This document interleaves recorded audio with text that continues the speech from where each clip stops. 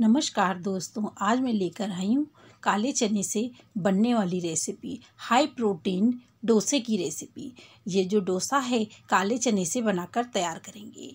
ये इतना टेस्टी और हेल्दी होता है कि इसे हर कोई पसंद करेगा। इतनी जल्दी बनता है कि आप इसे दस मिनट में बनाकर तैयार कर सकते हैं। अगर आपको ये मेरी रेसिपी पसंद आए तो आप इसे ज़्यादा से ज़्यादा शेयर करिएगा। अगर आपने मेरे चैनल को अभी तक सब्सक्राइब नहीं कर रखा है तो आप इसे सब्सक्राइब कर दीजिएगा। बेल आइकन को प्रेस कर लीजिएगा, जिससे आने वाली वीडियो की नोटिफिकेशन आपको सबसे पहले मिलेगी।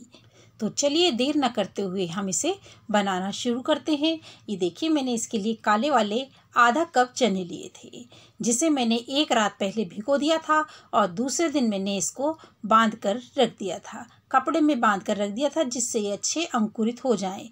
ये देखिए, अंकुरित भी हो गए हैं और चने हमारे काफ़ी सॉफ्ट हैं। ये देखिए, इसी चने से हम अब डोसा बनाएँगे।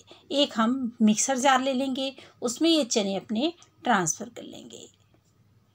इससे इतना अच्छा डोसा बनकर तैयार होता है कि आपको बहुत पसंद आएगा। अब इसी कप से आधा कप मैंने सूजी ली है। सूजी आप मोटी या बारीक कैसी भी ले सकते हैं। और इसमें दो से तीन हरी मिर्ची डालेंगे थोड़ा सा अदरक का टुकड़ा डालेंगे, एक लहसुन की बड़ी है कली इसलिए डाली है, और थोड़ा हरा धनिया डालेंगे, और कुछ इसमें कड़ी लीफ डाल देंगे, और थोड़ा सा इसमें हम नमक डालेंगे। नमक तो वैसे हम बाद में भी डाल सकते हैं। अब इसमें हम आधा कप ही दही डालेंगे। ज़्यादा खट्टा है तो थोड़ा आप कम कर सकते हैं। और इसमें अब हम आधा कप पानी लिया है, थोड़ा हमने डाल दिया है क्योंकि हमारा जार काफ़ी भर गया है। इसी पानी को अभी हम और डालेंगे। अब इस जार को हम बंद कर देंगे और ग्राइंड करेंगे। ये देखिए, हमने इसे ग्राइंड करा है थोड़ा सा तो उसमें ही ये खाली हो गया। अब इसमें वो जो बचा हुआ पानी डाल देंगे, आधा कप पानी और लेंगे, इसमें से थोड़ा पानी डाल देंगे और थोड़ा हम बचा लेंगे। अब इसको हम फिर से ग्राइंड कर लेंगे। ये देखिए, इसको हमने अच्छे से बिल्कुल फाइन पीस लिया है। बिल्कुल जितना ज़्यादा अच्छा आप बारीक पीस सकें, उतना आप इसे पीस लीजिए। इसकी कंसिस्टेंसी आपने देख ली है। अभी ये थिक है। अब हम एक मिक्सिंग बॉल लेंगे। उसमें ये पूरा बैटर अपना ट्रांसफ़र कर लेंगे। अब इसमें हम थोड़ा सा पानी जो बचका बचा कर रखा था, वो जार में डालेंगे और जार को इसी में ही धोकर डाल देंगे। हम कोई भी चीज़ को वेस्ट नहीं जाने देंगे। ये देखिए, हमने उसी पानी को डालकर इसको धो लिया और इसमें डाल दिया। अब देखिए, इसकी कंसिस्टेंसी हमारी काफ़ी अच्छी हो गई है। बिल्कुल हमारी ये परफेक्ट है। अब ना तो इसमें हमें पानी डालना है, ना कुछ करना है। अब इसे हम एक साइड रख देते हैं। अब एक हम सिलबट्टा लेंगे। उसमें एक लहसुन की कली लेंगे और दो से तीन हरी मिर्च ले लेंगे अपने टेस्ट के अकॉर्डिंग थोड़ा सा नमक डालेंगे। एक चम्मच पानी डालेंगे और इसको हम पीस लेंगे। अगर आप चाहें तो इसकी जगह पर मिक्सर जार में भी पीस सकते हैं। लेकिन जो इसका टेस्ट आता है, वो मिक्सर जार की चटनी का नहीं आता है। देखिए, इसको हमने काफ़ी अच्छे से पीस लिया है। अब ये जो है, इसमें हम थोड़ा सा हरा धनिया डालेंगे और थोड़ा सा ही फिर से नमक डालेंगे और एक चम्मच फिर से पानी डालेंगे और इसको हम फिर से पीस लेंगे, जिससे हमारी अच्छी तरीके से परफेक्ट चटनी बनकर तैयार होगी।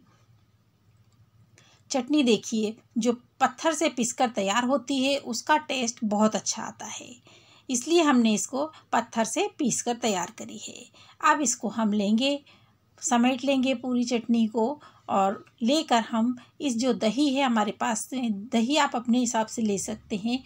जैसा भी आप लेना चाहें, गाढ़ा, पतला, जैसा आप खाते हो, उस दही में इस चटनी को डाल देंगे। देखिए, अब हमने चटनी डाल दी है दही में। अब आगे देखिए हम क्या करते हैं। एक हम खीरा ले लेंगे। आप अपने हिसाब से छोटा, बड़ा जैसा लेना चाहते हैं, छील कर ले लें और कद्दूकस से इसको कस लेंगे। देखिए, इसको हमने अच्छे से किस लिया है और ये देखिए, हमारा खीरा कसकर तैयार हो चुका है। अब इस खीरे को हम लेंगे और दही में डाल देंगे, जिससे जो हम इसका, दही का हम रायता बना रहे हैं। इससे इसका टेस्ट बहुत अच्छा लगता है जो हम डोसा बनाएँगे। ये देखिए, दही मेरा कुछ पतला है, आप अपने हिसाब से गाढ़ा पतला जैसा भी रखना चाहते हैं उस हिसाब से रख सकते हैं। और चटनी इसमें अच्छे से मिक्स कर लेंगे, रायता बनकर तैयार है।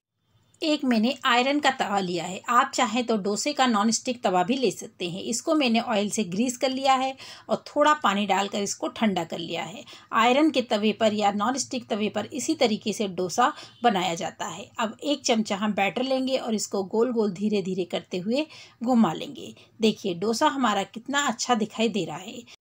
डोसे में देखिए कितनी अच्छी जाली आई है। ना तो इसमें हमने सोडा डाला है, ना ही हमने इनो डाला है और ना ही इसको हमने रात भर खमीर के लिए रखा है। अब इसके ऊपर हम कोई सा भी खाने वाला ऑयल या बटर कुछ भी लगा सकते हैं और थोड़ा सा साइड से लगा देंगे। जब ये हमें ऊपर से थोड़ा अच्छा सा ड्राई दिखाई देगा कि हमारा नीचे अच्छा गोल्डन कलर इसमें आ गया है। मैं तवे को इसलिए घुमा रही हूँ क्योंकि मेरी गैस थोड़ी सी टेढ़ी जलती है। इसलिए मुझे इसको गोल घुमाकर इस साइड को रखना पड़ा है। अब देखिए, हम इसको करछली से धीरे से उठा रहे हैं और ये देखिए कितनी आसानी से हमारा डोसा उठ रहा है। आप इसके अंदर आलू का मसाला या पनीर का मसाला कुछ भी डाल सकते हैं और इसका कलर भी बहुत अच्छा आया है। ये देखिए, आपको दिखाई दे रहा है कितना अच्छा डोसा बनकर तैयार हुआ है। हमने इसके लिए कुछ भी ऐसा नहीं करा है और ये कितनी जल्दी, कितनी आसानी से बना है। इसी तरीके से हम दूसरा डोसा बना लेंगे और ये जो हमारा डोसा है, काले चने से बना हाई प्रोटीन डोसा बनकर तैयार हुआ है। ये सभी के लिए बहुत अच्छा फ़ायदेमंद है। मैं आपके लिए और भी इसी तरीके की बहुत अच्छी अच्छी रेसिपी मैंने अपने चैनल पे अपलोड कर रखी हैं, जिसे आप ज़रूर देखिएगा। आपको सभी मेरी रेसिपी बहुत पसंद आएँगी और मुझे कमेंट्स करके ज़रूर बताइएगा कि आपको मेरी रेसिपी कैसी लगती है और आप कहाँ से देख रहे हैं और किस तरह की रेसिपी देखना चाहते हैं। ये देखिए, इस तरीके से हमने दूसरा डोसा भी बनाकर तैयार कर लिया है। इसी तरीके से हम सारे डोसे बनाकर तैयार कर लेंगे। ये देखिए, कितने अच्छा डोसा बनकर तैयार हुआ है। ये हाई प्रोटीन डोसा है, जिस, जो हमारी सेहत का भी ध्यान रखता है। इसके आप ज़रूर बनाइए और सभी की हेल्थ का ध्यान रखिए। आप एक बार बनाएँगे तो आपको बार बार बनाकर खाने की इच्छा होगी। अगर आपको मेरी रेसिपी पसंद आती है तो आप इसे ज़्यादा से ज़्यादा शेयर कीजिएगा अपने फ्रेंड और फैमिली में। लाइक करना बिल्कुल ना भूलें। अगर आपने मेरे चैनल को अभी तक सब्सक्राइब नहीं कर रखा है, आप मेरे चैनल पर पहली बार आए हैं तो आप इसे सब्सक्राइब कर दीजिएगा। फिर मिलते हैं एक नई रेसिपी नई वीडियो के साथ। Bye bye take care thanks for watching